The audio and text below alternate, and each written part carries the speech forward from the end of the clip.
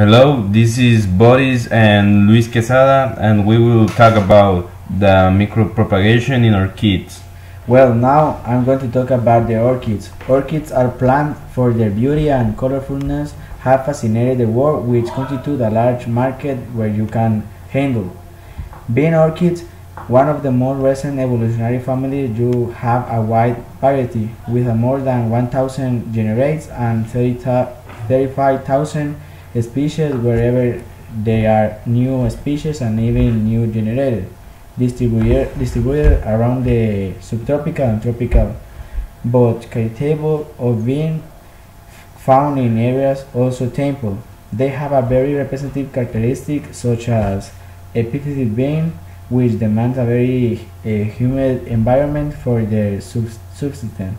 Since they take water from the air where they are Likewise, there are on the floor. In addition uh, to the hundred of copies, we can find about 100,000 hybrids conjoined by two species. They are naturally or with the help of anthropomorphic hands representing a cross with unique and very pleasing to the age design. Pollination uh, in orchids is an extremely complex chapter as they are so zoophilic plants. So there are multiple therefore reasons for the use of technique of in vitro generation in orchids. Okay, the importance of the use of the technique of germination of zygotic embryos in vitro in orchids proceed that although form uh, around 4 million seeds and only a, a small number of 10 do have the capacity the capacity to germinate uh, is due to dormancy that has the seeds of this species uh, which can only be broken by this technique.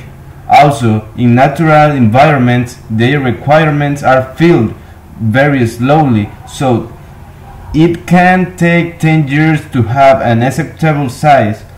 The, the, the, the steps uh, for the germination of the orchid seeds are described as follow. The embryo absorbs water uh, through the testa and increases its volume uh, in a container in a medium rich in vitamins, minerals, uh, complex mixtures, growth uh, regulators, uh, sugars, stable pH, light, etc.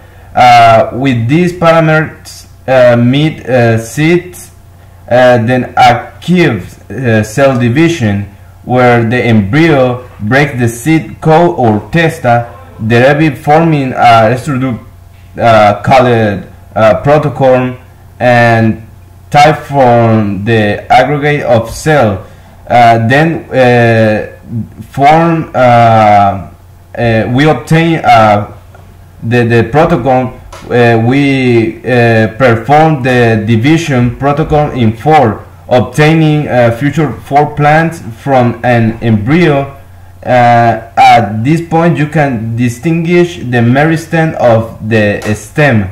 Uh, the uh, science star organ differentiation is here when we make a new reseeding of the sustainable medium because the plant is already autotrophic then make the process of acclimatization in a nursery uh, being ready for commercialization or start a new cycle.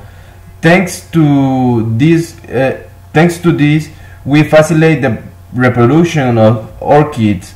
Concluded that process of propagation of orchids by meristem culture in is carried out in these phases.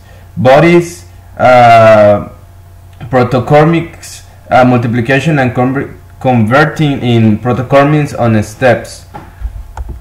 Thanks to to listen us and uh, uh, good night.